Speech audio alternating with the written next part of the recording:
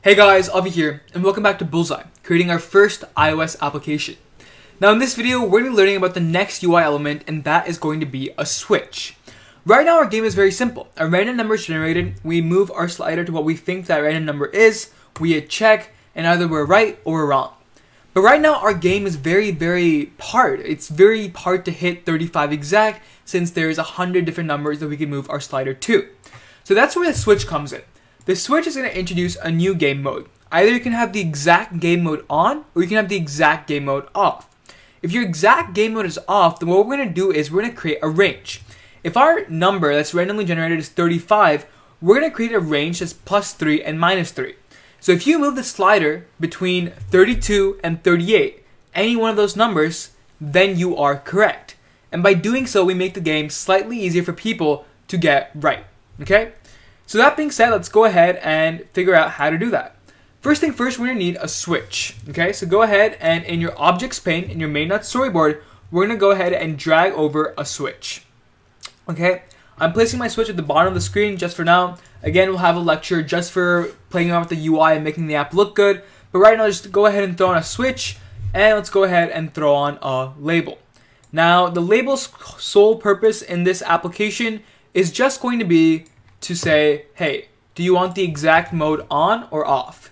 So exact mode, okay?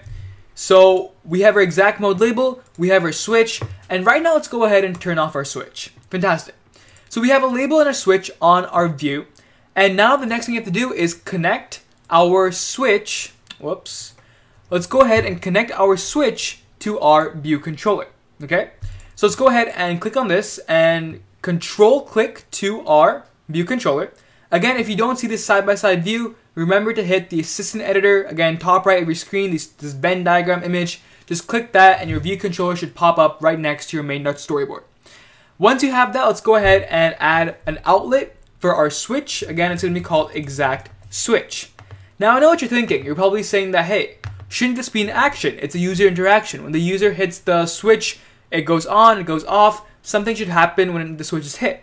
Well, if you think about it, what's really happening is when the user hits the check button, we want to see if the exact mode is turned on or off. In that scenario, we're trying to act as a property of the switch and we only need an outlet.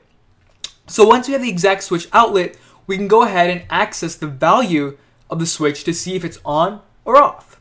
So in our check value function, right now we're just saying if random number is equal to the exact value of our slider. However, before this, we need to have an if-else scenario to see hey, is our exact switch turned on or off? So over here, we're to go ahead and say if exact switch dot is on. Okay, so this is again, it's a function of the exact switch um, object, and the is on function basically tells you, hey, is our switch on or off? So it's a true or false Boolean value. So if exact switch uh, is on is equal to false, so in this case, our exact switch is off, which means we need a range, then we're going to go ahead and say if random number is equal to or greater than, um, okay, actually, you know what, let's go into this. If int num slider dot value is greater than random number minus 3, right? And int num slider dot value is less than random number plus 3. So in this scenario, let's go ahead and just use greater than or equal to and less than or equal to just to give ourselves a bigger bound. And now what we can go ahead and say is if both of these things are true and the values in between both of those bounds, then we're to go ahead and say result label is equal to this. Result label.text is you were right. Otherwise, we're to go ahead and copy this else statement again and just say, hey, if you're not in that range, then sorry, you missed. Okay? So this is our if sort of statement, and I'll go ahead and put it in our main view so that it's readable. Over here, I'll go ahead and explain the code again. If our exact switch is on, so if our switch is turned on, this value returns either true or false. So it can either be true, it is on, or false, it is on, it is off. So if this value is equal to false, then we're going to go ahead and say that we're using a range. So if our slider value is greater than the random number minus 3 and less than or equal to the random number plus 3, then we're going to go ahead and say you're right, otherwise you are wrong.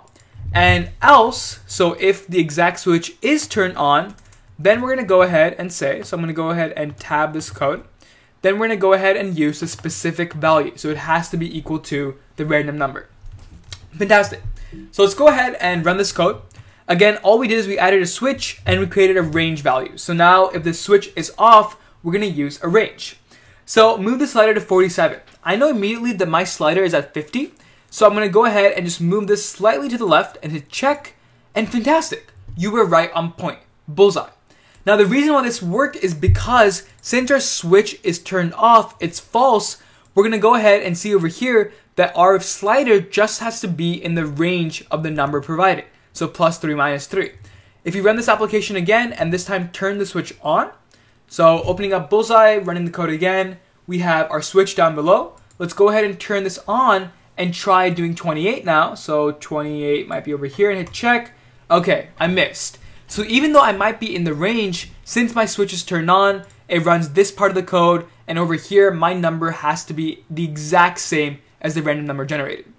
Anyways, fantastic job guys. In this lecture, we learned about the switch, we learned how to use its property, access value, and we made our bullseye game slightly bit more complicated. Fantastic job. If you have any questions, don't hesitate to ask. Don't forget to like, share, subscribe, and I'll see you in the next video.